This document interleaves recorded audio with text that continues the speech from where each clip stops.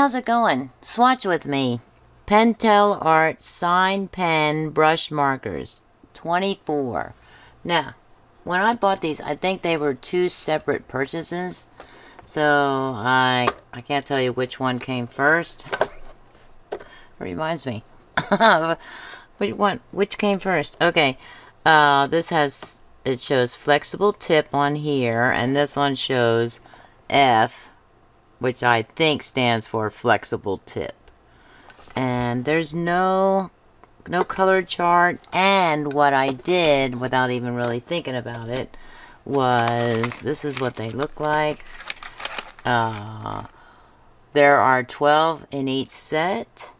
And I set them up in the way that in the order that I like to use my colors. So you know going from pink to black and I tried my best. I looked at, for example, here, it shows, it looked like it was black, uh, black print, but it's silver. So what I did was I looked at it, you know, I looked at the code there and everything, and then on the back here, there's, it says Pentel, uh, sign pen, made in Japan, and this one shows B2, like itty bitty teeny weeny B2. I don't know if that stands for a brush, but there's another one that I saw that uh, shows a Z. So let's see if I can find. Okay. This one, Pentel sign pen, made in Japan, and this is Z and an itty bitty. Is that 07? I, I this might be 07, like super tiny right there. But it says Z up there instead of B. So I mixed the Z's and the B's is what I did. What what I'll do is I'll put a link in the description or two links rather in the description and you can go check out the color scheme uh, for yourself if you want to but one shows a cacti here or cactuses either way is fine and the other shows a girl walking walking down a sidewalk in Japan I'm I'm assuming. So yeah. And I don't know if there are any more color color sets available. I might go to Pentel's website see if they have something available. So the the unique feature about these uh, right here that the pens are in is that they stand up. So when you need them, they should always, when you store them, they should lie horizontally. But when you need them, when you're using them, you can bring them out, put them on your desk, and grab the ones you want. So that is really cool. They're also uh, somewhat loose, so I can easily grab them, although I can push them down further so that they stay in place, like when I'm putting them away, for example. That was a little... Okay, I was just making sure that they're they're loose enough for me to grab. These are also blendable with water. Water-soluble ink. Marker stand included. So this one has less writing on the front there than this one does. Blendable with water water soluble ink, wear resistant, pressure sensitive, flexible tip. Ideal for hand lettering and calligraphy. Marker stand included. That's way down here. And, all caps here. Vibrant water-based dye ink. Wow, and this is what the back of the packaging looks like. In case you want to see it. Limited warranty. Valid in USA only. Hmm. Okay, so, but other than that, there's no way for me to tell. I was maybe looking for the Z and the B and I on here, but I don't see it. They do have different numbers there and there and um, two sets of numbers, numbers and letters, so that's different. And these two on the side, on the other side are also different. So I was like, oh, so I'm just going to have to say I'm sorry that I mixed them up. but I put them in the order that I like since I have both of them. okay, so we're going to start hopefully with this. There are no color names on these. That's a bummer, but... Uh, and since they're water soluble, I think I might take my baby wipe and just kind of uh, see if I can... says they're pressure sensitive. See if I can bring them out a little bit with a baby wipe. What is that? That looks like salmon Tammy Shame. That should be in the orange Let's see. Ball it up. Let's see if we can get any kind of effect. Okay, we can. We can get a little bit of an effect there. I wonder if I can turn it upside down. No. No, I can't. I'm I'm I'm so ditzy sometimes that I forget which one I've done, so I'm just gonna leave it out of the packaging, out of the stand for a bit. I'll do it like this. Kind of a feathery look, I guess. And do that. Oh yeah, look at that. Cool.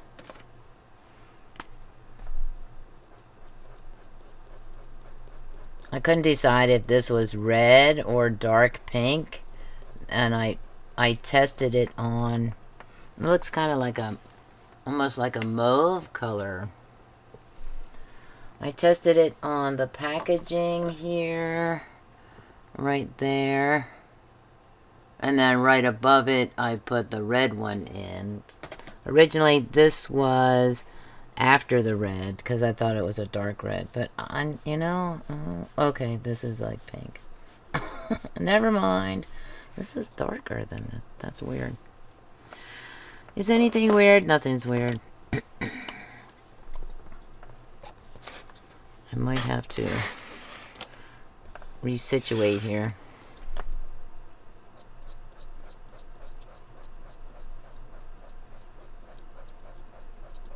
I plan to use these in uh, coloring books, possibly. Sorry about that. I just don't know. My hands, they are weapons sometimes. Only weapons against myself, though. So I just I just finished the watercolor and sea salt with these, and I wasn't as great an effect as I as I wanted it to be or that that I thought it was going to be.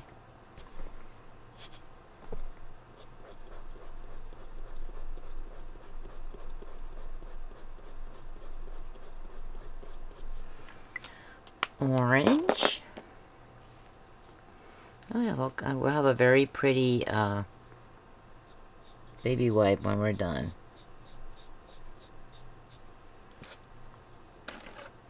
yellow. Oh, I hope you can see this. Oh, it is very bright.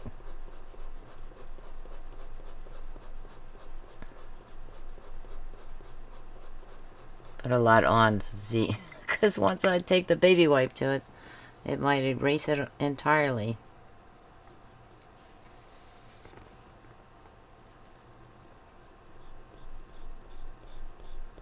I'll try not to get the very edge there. Uh,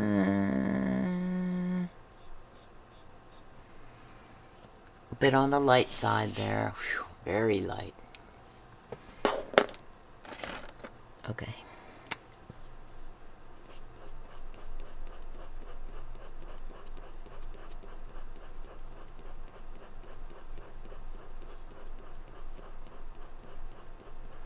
Maybe come out a little more.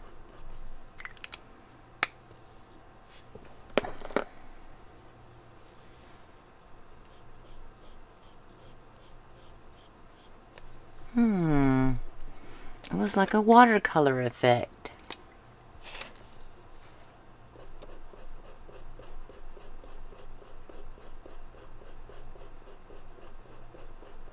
Now, of course, they're going to leave a line there. I just drew it. just drew on myself. No problem. Whoa. So the darker colors are going to be uh, more prevalent on the page. Now this color, when I did the watercolor and sea salt, if you haven't seen that yet, you should go into my watercolor and sea salt playlist, because it'll be in there. Uh, I didn't really, I wasn't too crazy about after I added the water, and then once it dried, it had this uh, brown, took on a brownish effect to it, and I was not happy at all with how that turned out. Now that's pretty good, but is it going to, when it dries, is it going to have a brownish tint to it? I have no idea.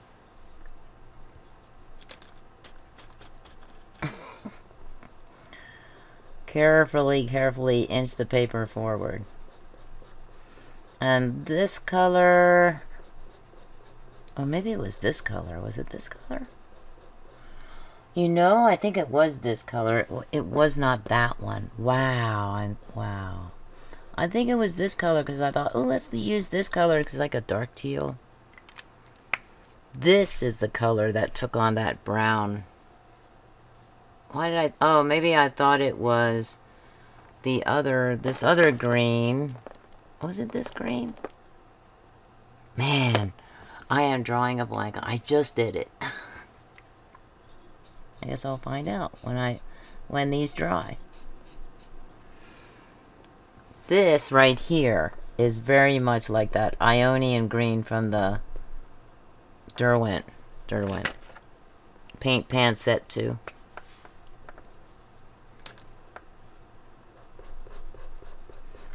Very light color.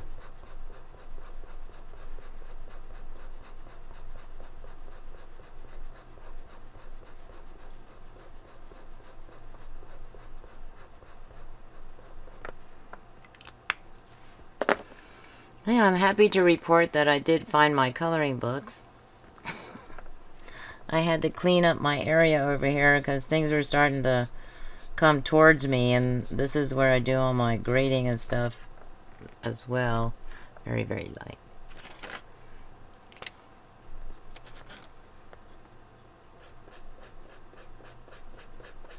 Also very light. A different, a different shade of light. This is light blue, and that's like a light teal, I guess.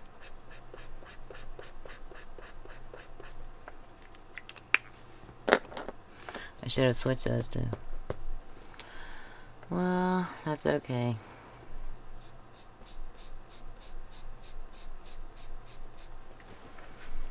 Okay, now those are done. Okay. We have this blue.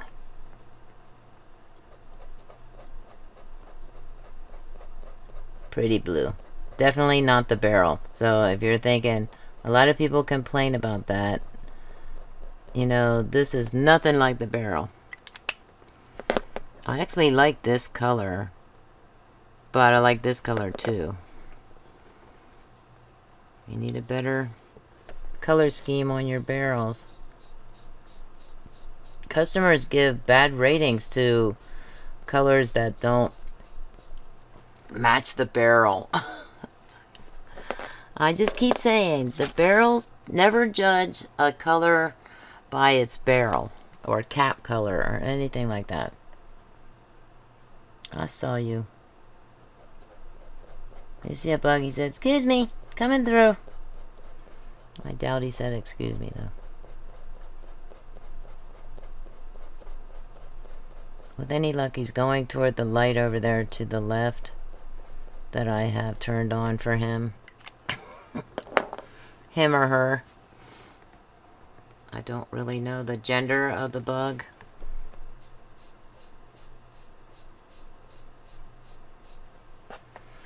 Okay.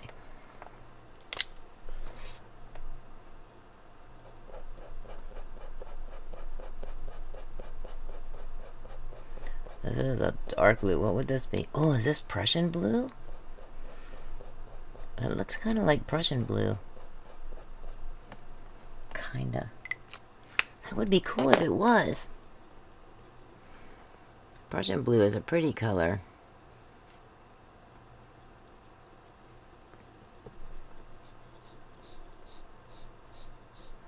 Or is it just your basic dark blue?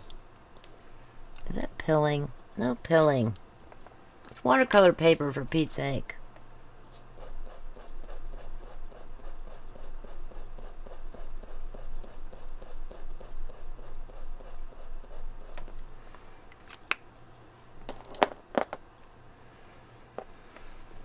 I'm running out of room here on my... How could I be running out of room? All this real estate on my baby wipe.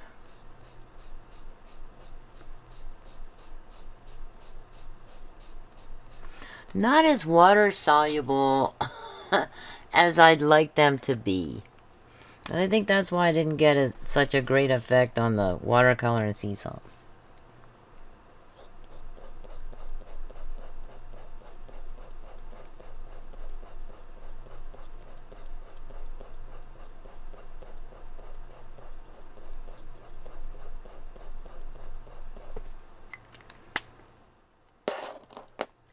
That was... I hope that's not loud for you. If it is and I'm in editing, I'll turn that annoying sound down for you.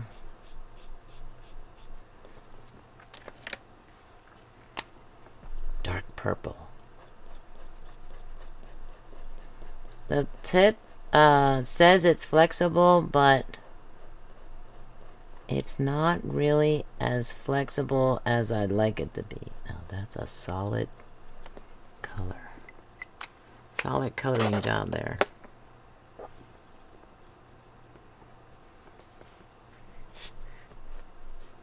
It's getting away from me.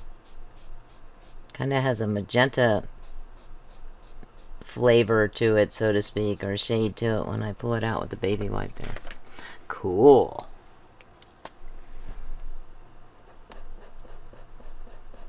What is this, yellow ochre? Or tan, maybe? Oh yeah, I'm thinking maybe tan. It doesn't have as much of the yellow in there.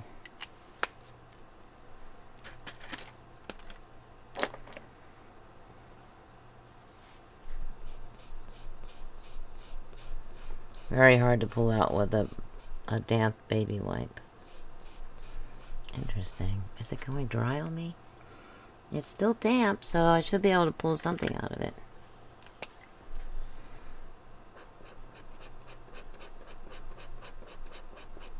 This is yellow ochre.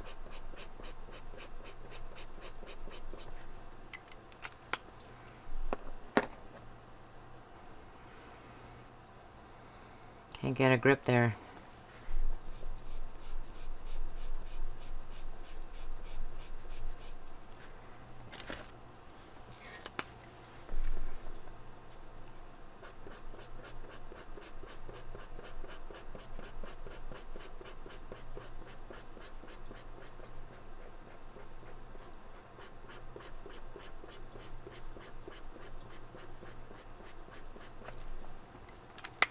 Way too much. Sorry about that. A little bit too much coloring there. Maybe I can brush it out a little. Never mind. I pulled it out just a little bit. Now, generally, these are used for, like, uh, if you have a guest book and you allow them to sign with different colored pens, these would be good for that.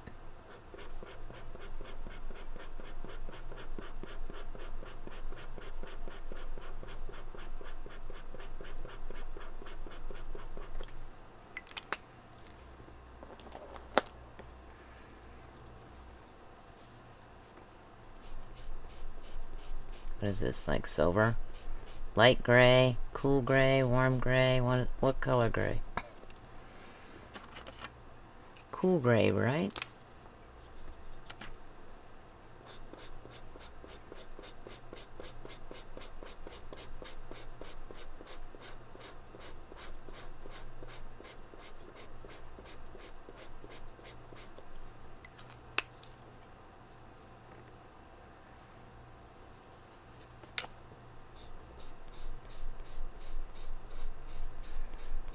Oh, that was hard to take out.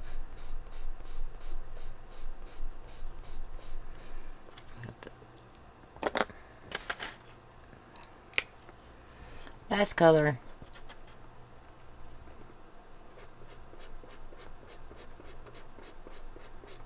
I was thinking this was black. Silly me for going after that barrel color. This isn't as black as I'd like it to be. Come on, Pentel. You can do better than this. Is that black? It looks just like a big old dark gray. Isn't that really what black is? It's dark gray. Charcoal gray.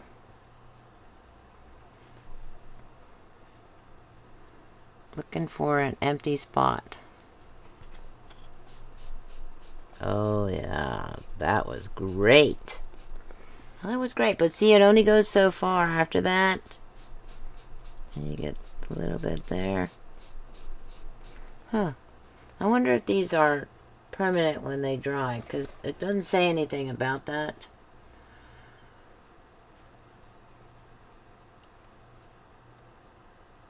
Uh, mm, mm, says great for a variety of techniques including feathering, cross hatching, calligraphy, detailed line work, and outlining. Tip will not dry out if left uncapped. Brush tip wipes clean with a paper towel. Brush tip? Huh. That's interesting. So here are the beautiful colors and I just thought, oh Tammy, you forgot to trim down your paper and now you're going to have a fun time getting this into your binder later. Because it is not a 9 by 12 sleeve. It's more like a 8.5 by 11.